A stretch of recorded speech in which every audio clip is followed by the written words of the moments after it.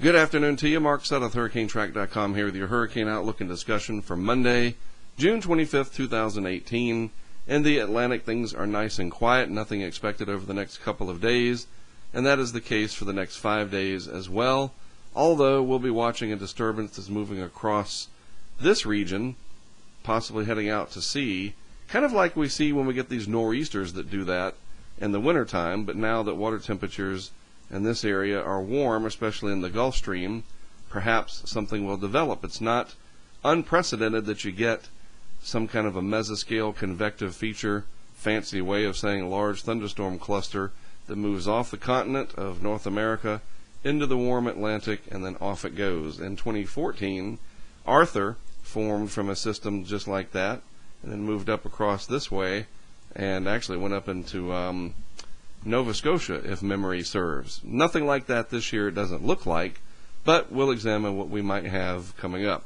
In the Eastern Pacific, things are quite busy. The five day outlook, including Daniel here, which is really not much of an issue. This area is not, it's 0%. It's not going to make the team, so to speak.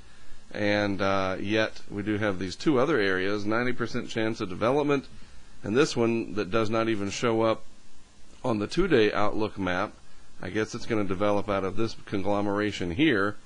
Uh, means that the Eastern Pacific, the Southeast Pacific, is going to be quite busy.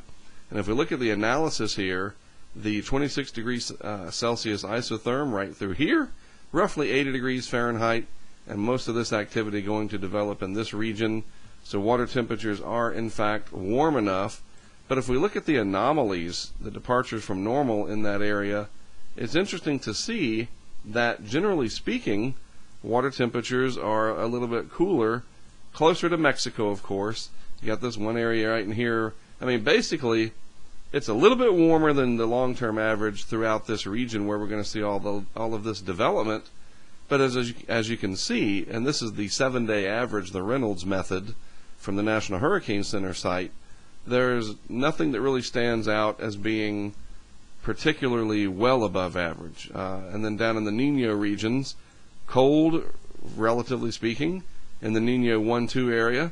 Then you have this one little island of fairly substantial warmth, but it's kind of small. Uh, it doesn't take up the entire Pacific, what we call basin wide or anything like that. So if you look along the equatorial region down here, generally speaking, just slightly warmer than average, slightly warmer than neutral. All right, so the Pacific, busy, but I'm not seeing much evidence of anything besides tropical storms and maybe some uh, garden variety hurricanes developing because, as you can see, and I'll just re summarize it here, this area not astoundingly above the long term average sea surface temperature wise. So that's interesting. So here's a infrared shot of Daniel from the weathernerds.org site, and as you can see with it, not much convective activity, pretty good low level banding, but it's moving over cooler water away from that 26 Celsius isotherm. Upper ocean heat content not very high, so there's not much energy for this to tap into, and it will die away. Here in the Caribbean, I wanted to show you,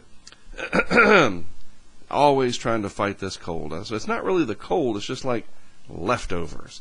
You know, like after a really big wreck and there's all that glass left over on the road for weeks well, that's how my throat is, I feel like, and all this congestion that I had. I don't have glass, thank goodness, but those leftover coughing fits is just annoying.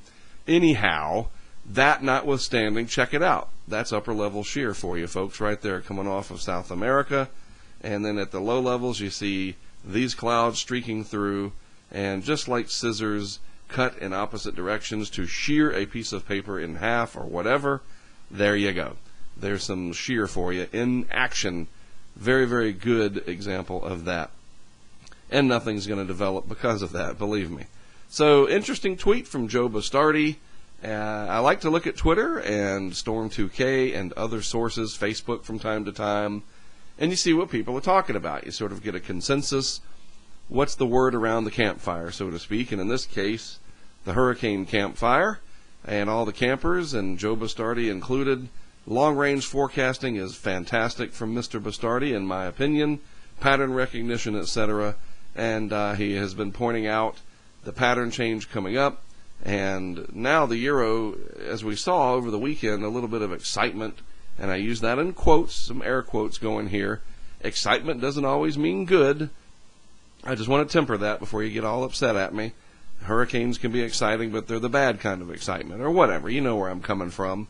Excitement built over the weekend as the euro at one point in the deterministic model showed a hurricane developing and then coming back towards North Carolina. Several days out, seven, eight, nine days away, whatever it was. And, you know, I didn't really talk about it much because it didn't seem plausible. It's just one run, one model, which is known to sort of sort of take these features here. And in this case, it's this piece of energy that if it was winter, we'd be looking at blizzard conditions probably as this moved off the coast. But since it's summer, and as Joe alludes to here, past conditions like this have led to development. All right? So we'll have to see how this pans out over time. Uh, water temperatures are warm enough. Certainly, we look at the anomalies here from the NOAA NESDIS site. Very warm off the east coast here.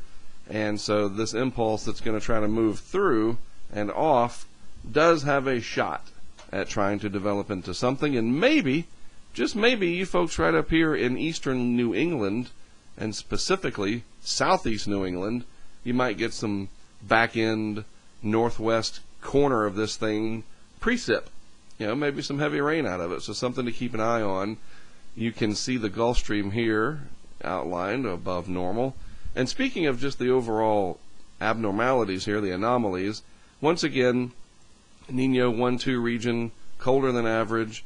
And uh, on this particular methodology, uh, you know, a little bit warmer than average here in the tropical Pacific, but nothing that jumps out as being, you know, overwhelming the system, so to speak.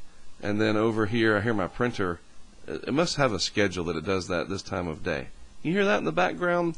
One day I'm just going to put my fist through it, and that'll put an end to that. They're only 80 bucks. I can just get a new one. No, I'm just kidding. I'm not that angry with it. Uh, but look at this here.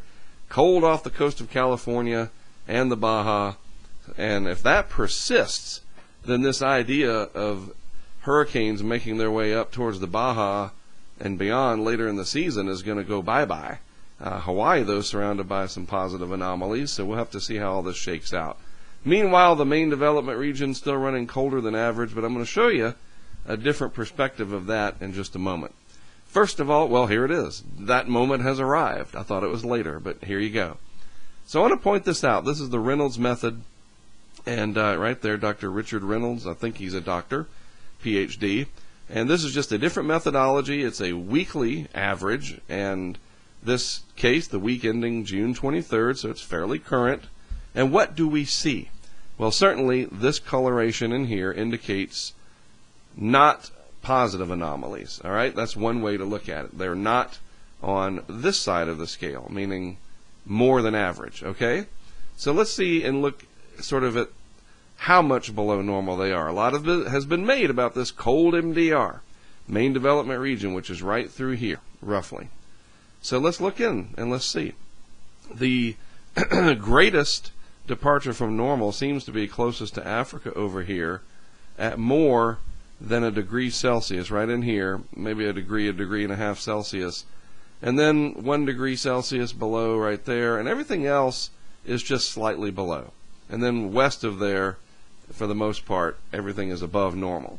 So we're not talking about a vast area of the Atlantic in the deep tropics significantly below normal. And as we get closer and closer to mid August and September, this should continue to moderate over time, especially as the pressure pattern change comes up that we've been talking about. We'll examine that again tomorrow. And so my point is yes, it's not last year in terms of it was quite a bit above normal, but we're not talking about a massive, massive area. And it's interesting that this has shifted from here over to this way, you know, in recent uh, days and weeks.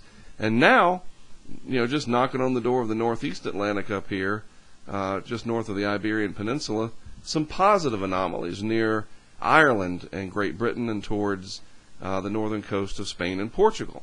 And so we'll just have to watch all this because this current that comes south here, the Canary Current, maybe some of this warm water will get pushed south. It's just always evolving and always interesting to look at. But to put it in perspective, Again, the coldest temperatures relative to average right here next to Africa. And as I have said, and I saw uh, there was a discussion about this last night. In fact, let me pull that up. We'll just kind of switch gears. I can do that. This is my broadcast, so to speak. I got to find the X to get rid of Mr. Bastardi's tweet. Look at what we were talking about last night. Me and Tyler Stanfield. I believe that's how you say his name. If I can scroll, please give me my scroller. Thank you.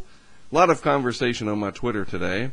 Da, da, da, Where was it? Where was it? There it is. Yep, Tyler Stanfield last night out of Oklahoma. And here it was. Uh, African easterly waves enhanced by the favorable MJO phase and a convectively coupled Kelvin wave will be exiting off the continent over the next week. Uh, the waves are more amplified than what we've seen so far this year, but of course the environment down across this region is not conducive. And I responded that, you know, hey, those waves being that invigorated against the background state being, you know, hostile through here, maybe that enhances the possibility of development later in the season. And so that goes back to what I was talking about here. Yes, you've got these vigorous tropical waves coming off, and in this environment, they're not going to develop. But what happens when they get over here or over here?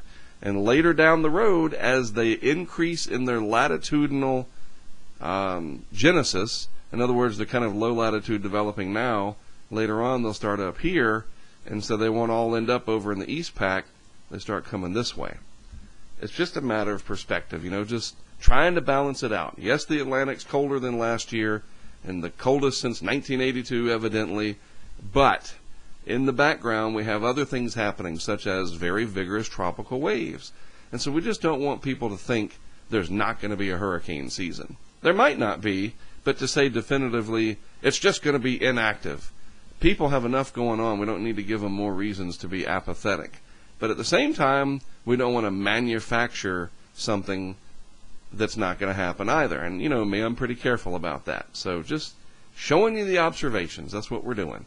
All right, Gulf temps, the actual sea surface temperatures here, and let's draw on it with blue. Um, look at that shelf water off Florida, 30 and 31 Celsius. Whew, toasty. We're talking 85, 86 degrees Fahrenheit.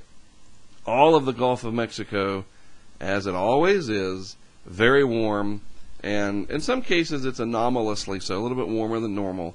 But make no mistake, the Gulf of Mexico by August, September will be warm enough for intense hurricanes.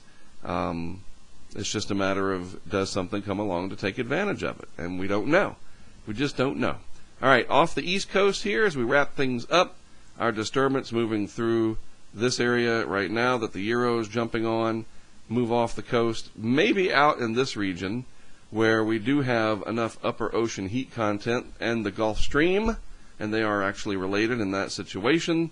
26 degrees Celsius isotherm prevalent, possibly some development as it heads away, but it'll be a shipping interest item only, nothing to worry about in terms of land interaction.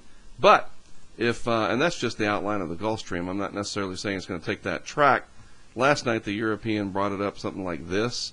I, I can't remember precisely um, we'll certainly talk about it more tomorrow as we see if this is going to happen. Let's put it that way. But at the uh, end of the day, you folks right here might get some rain from it. It's sort of like a extratropical mid-latitude storm that develops some tropical characteristics. That's what I think could develop from it. All right, so we'll see what happens. An interesting few days ahead, but nothing pressing, nothing to get your anxiety levels up things like that. And that's good because that might happen in August and September. And we'll just save it all for then. All right? No reason to burn it all up now. Have a good rest of your Monday as always. I appreciate you tuning in. I am Mark Sudduth, HurricaneTrack.com. I'll be back with more for you tomorrow afternoon.